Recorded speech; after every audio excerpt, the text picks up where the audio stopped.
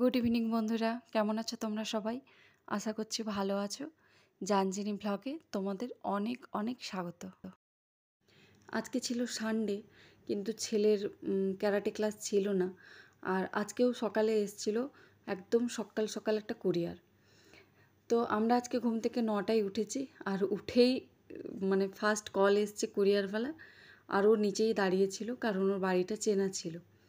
তো এসে কুরিয়ারটা দিয়ে গেল এই যে আমার ছেলের একটা গ্লোভ এসেছে, যেটা স্কুল থেকে আনানোর জন্য বলেছিল।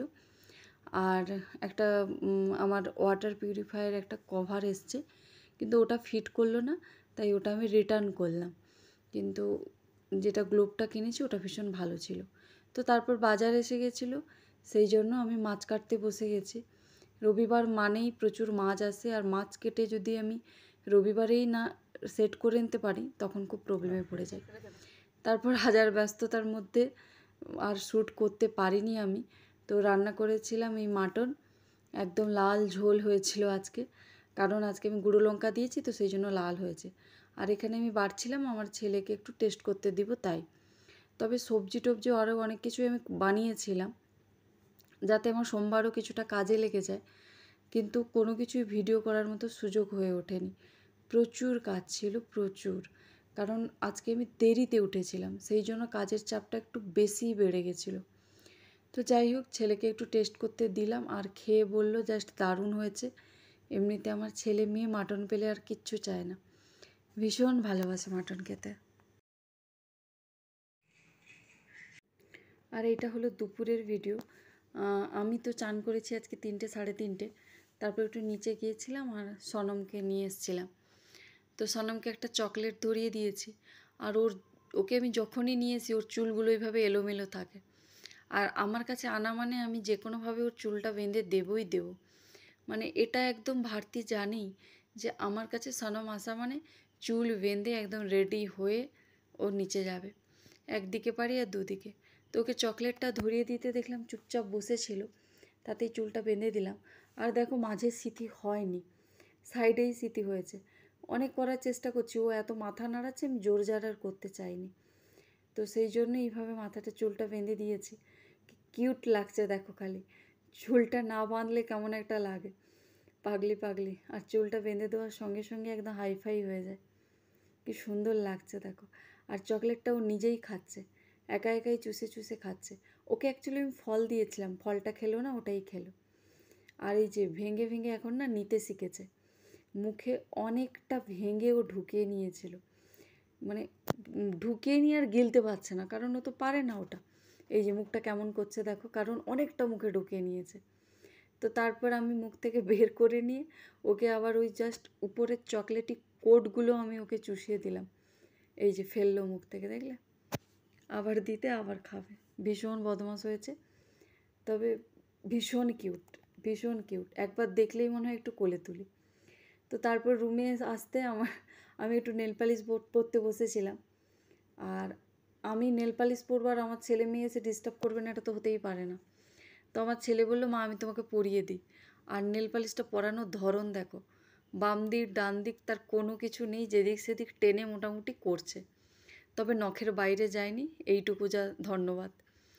অ্যাকচুয়ালি আমি পড়লে কিন্তু নখের বাইরে যায় ওর কিন্তু নখের বাইরে যায়নি, কিন্তু বড্ড এদিক ওদিক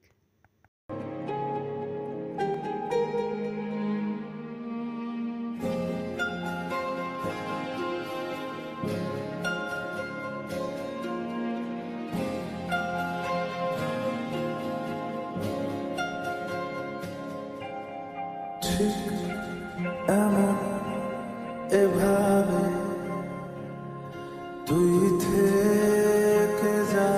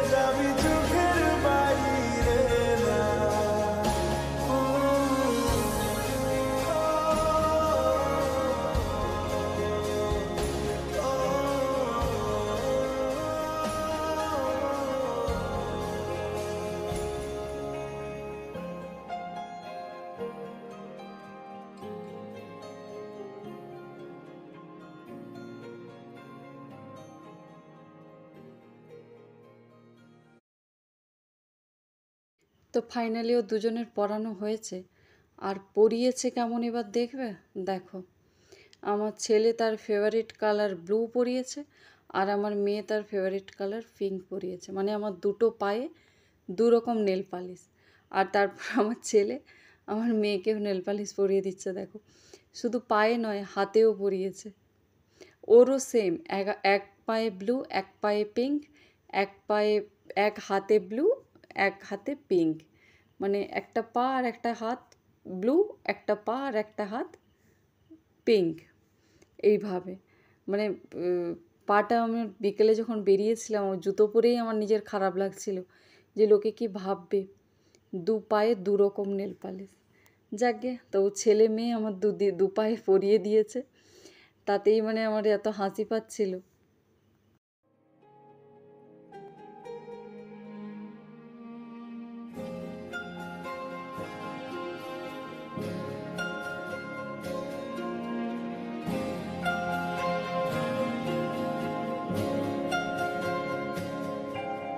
ঠিক এমন এভাবে তুই থেকে যা স্বভাবে আমি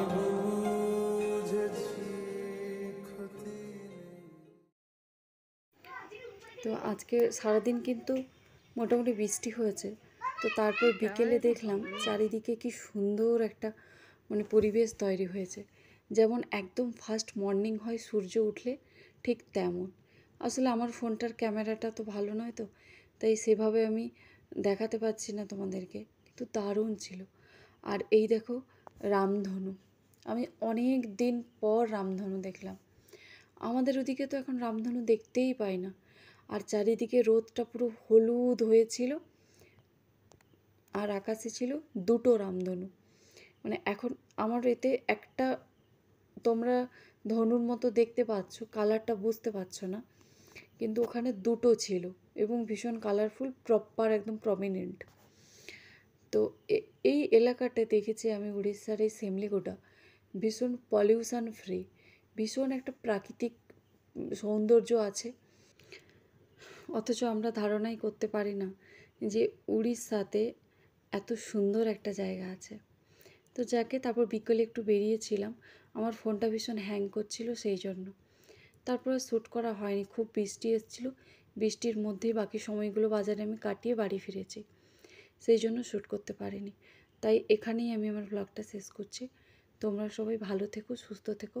আর যদি আমার ব্লগটা ভালো লাগে, তো প্লিজ সাবস্ক্রাইব করে আমার পাশে থেকো।